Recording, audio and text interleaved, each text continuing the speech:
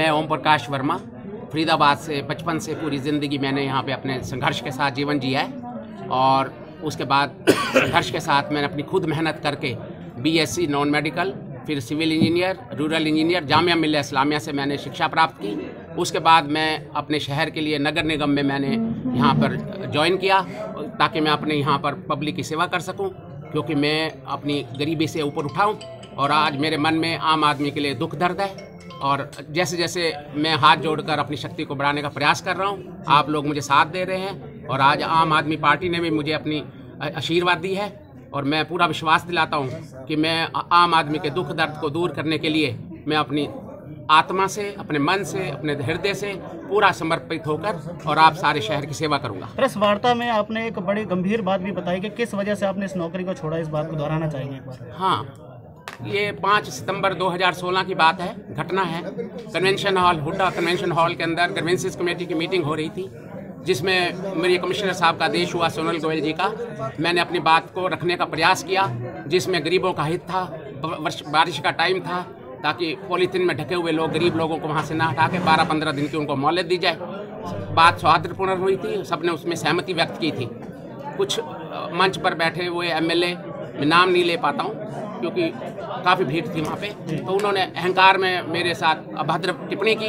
तो मैंने उनसे कहा कि आप लोग अब अधिकारियों के साथ ऑफिसर्स के साथ, गरीब लोगों के साथ मंच में बैठकर इस तरीके का व्यवहार करते हैं तो वो पूरा समूह जो है पार्टी का पॉलिटिक्स पार्टी का, खास तौर पे बीजेपी के लोग थे, उन्होंने मेरे को रात को सस्पेंड करवा दिया साढ़े ग्यारह बजे।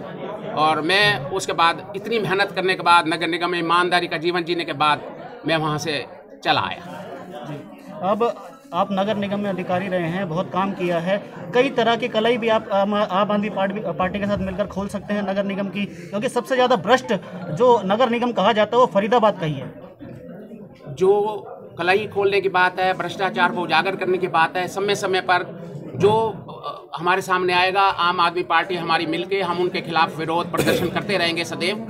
लेकिन जब अब इस वक्त हमारा ध्यान ये रहेगा, भविष्य में आने वाला धन जो जनता का धन है, गरीब लोगों के विकास कार्य में लगे, सड़कों में लगे, शहर फिर से हमारी झीलें फिर से हरी भरी हों, हमारे रास्ते एयरपोर्ट तक जाते हैं या और जाते हैं, उनको हाईटेक बनाया जाए, जिसका मुझे अनुभव है और इसी वजह से मैं शहर की सेवा करने के लिए इस आम आदमी पार्टी का आशीर्वाद प्राप्त किया आज आम आदमी पार्टी में ओपी वर्मा जी, जो पूर्व एस नगर निगम रहे हैं, आम आदमी पार्टी की नीतियों को देखकर लोकप्रिय मुख्यमंत्री अरविंद केजरीवाल जी से खुश होकर के, काम को देख करके, जिस तरह चंडीगढ़ में आम आदमी पार्टी को 35 में से 14 सीटें मिली हैं, उनको देखकर जिस हिसाब से शहर में लोग जुड़ रहे हैं, उसी कड़ी में आज हमारे पूर्व में एस डी रहे हैं साहब और हमारे मित्र हैं, मिलने वाले हैं। उन्होंने भी ईमानदारी से काम किया, जीवन भर और देश के लिए काम किया। उनका यही संकल्प था कि मैं ऐसी पार्टी से जुड़ूं जो बेदाग ईमानदारी से देश में, पूरे प्रदेश में जिसको ईमानदारी का नाम दिया जाता है आम आदमी पार्टी उसमें रह करके मैं काम करूँ। आज ओपी वर्मा जी ने उसी के संदर्भ में आम आदमी पार्टी ज्वाइन की है। आगे क्या ज़िम्मेदारी दी जाएगी वर्मा जी को? वर्मा जी को जो भी पार्टी की जो सलाह करके जो भी नीतियाँ होंगी उन्हीं के तहत ज़िम्मेदारी दी जाएगी। तो मेयर पद का दावेदार समझा जाए इनको? सभी मेयर पद के दावेदार हैं उसमें जो भी पार्टी निर्णय लेगी उसी को टिकट मिलेगी कोई ऐसी बात नहीं।